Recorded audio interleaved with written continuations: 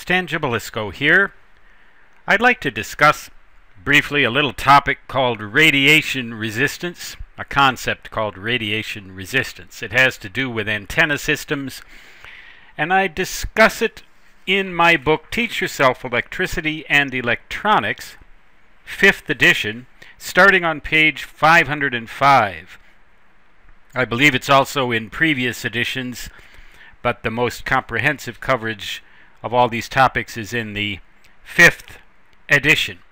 Radiation resistance is a special property that all antenna systems have. Suppose that we have, just uh, hypothetically, here's a feed line feeding a piece of wire, say, in the center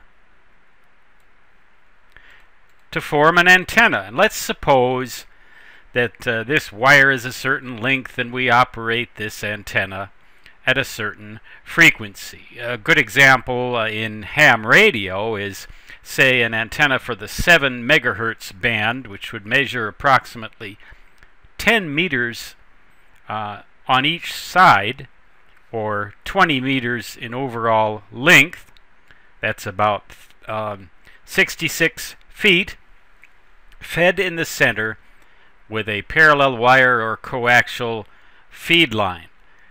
This antenna exhibits something called radiation resistance that depends upon the length of this element and also on the frequency. The rigorous definition of radiation resistance is suppose that we have an antenna like this and it happens to be resonant at the frequency that we're working at.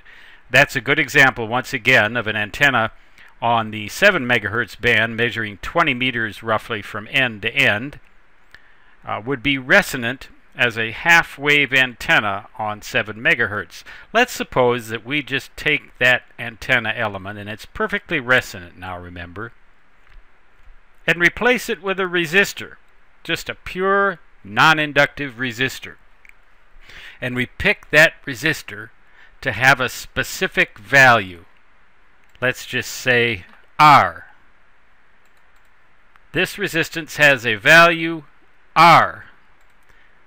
And we choose that value R so that the transmitter down here at the other end of the feed line and the feed line itself and everything that has to do with this feed line and transmitter sees exactly the same thing at this end with this resistor here as it did with the antenna.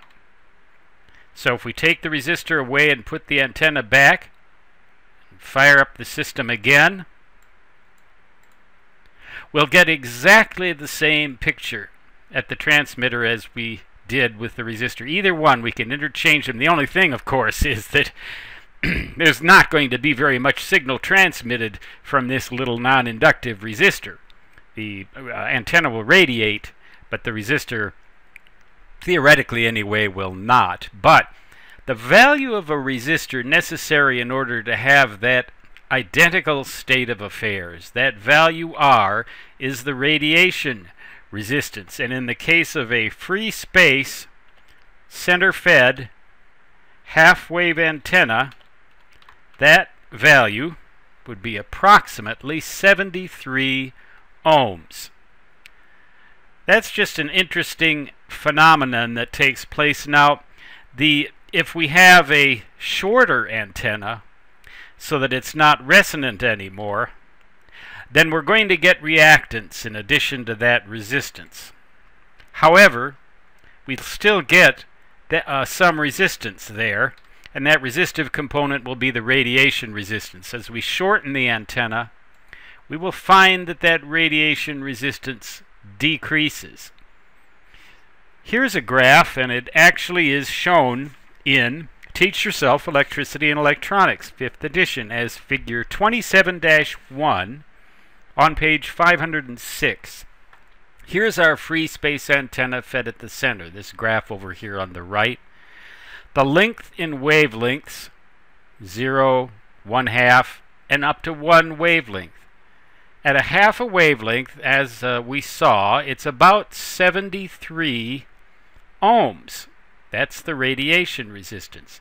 If we make the antenna shorter, that resistance declines and in fact approaches zero as the length approaches zero. That's kind of counterintuitive. You would think that the resistance would go up as you make the antenna shorter, but that is in fact not the case. The resistance goes up as you make the antenna longer. And if you get to a point where the overall length is approaching one wavelength, that radiation resistance will skyrocket a uh, vertical antenna operated over a perfectly conducting ground exhibits similar properties. However, it's generally considered to be resonant at a quarter of a wavelength. On the 7 megahertz band, then, a vertical antenna that's resonant at a quarter wavelength would measure roughly 10 meters or 33 feet high. So what we have here then is a resonant condition and the radiation resistance is just about half of what it would be with the half wave antenna about 37 36 and a half thereabouts ohms. If we make the antenna shorter once again we get a decrease in the radiation resistance. If we make the antenna longer we get an increase.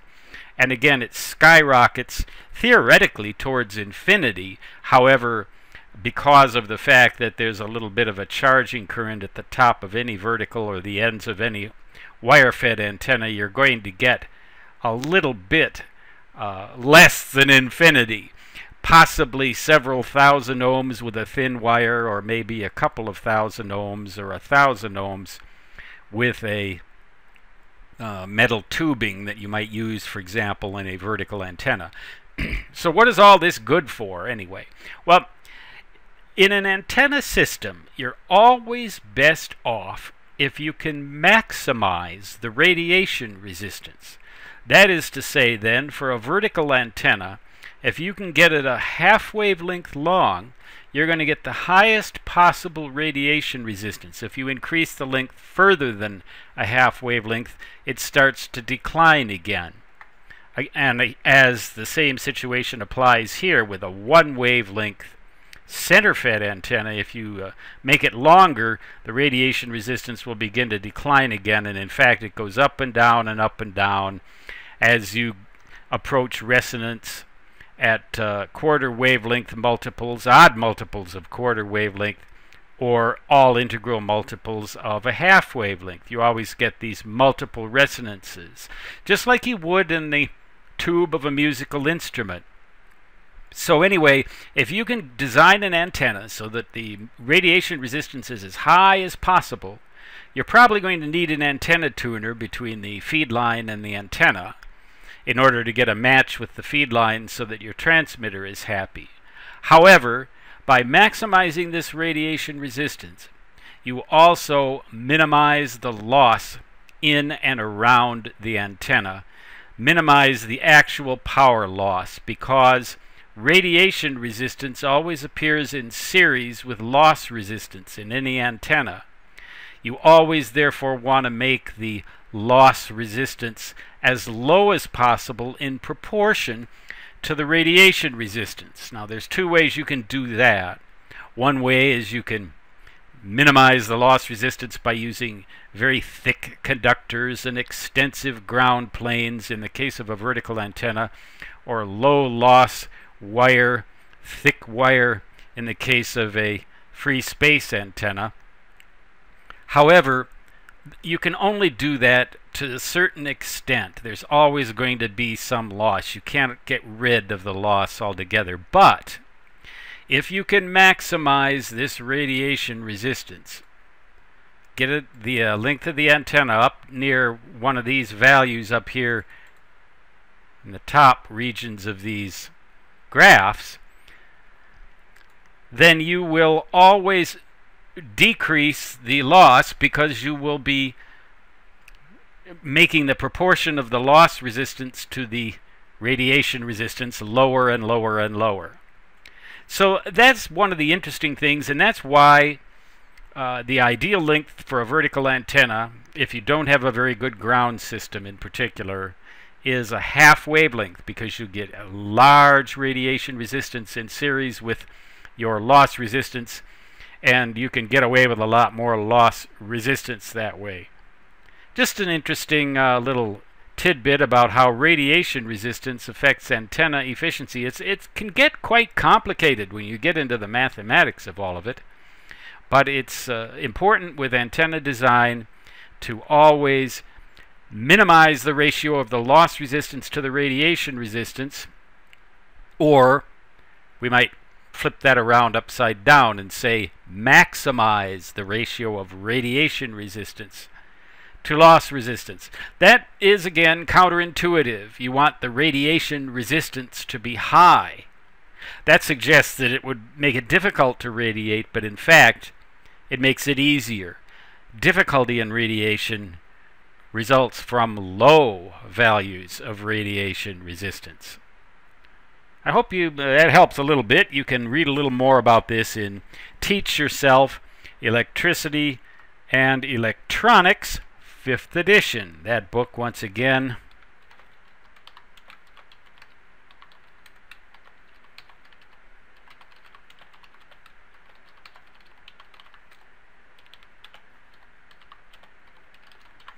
Fifth edition. And you'll also find that that book has explanations for the answers to the final exam questions in the form of videos and web-based text explanations for all the quiz an uh, answers at the ends of the chapters. In order to figure that out, you go to my website at sciencewriter.net. You don't have to capitalize the S, but I just tested it, and uh, it doesn't do any harm if you do. This program that I'm making this video with capitalizes everything automatically. Drives me nuts. Stan Gibilisco signing off once again from the Black Hills of South Dakota, United States of America.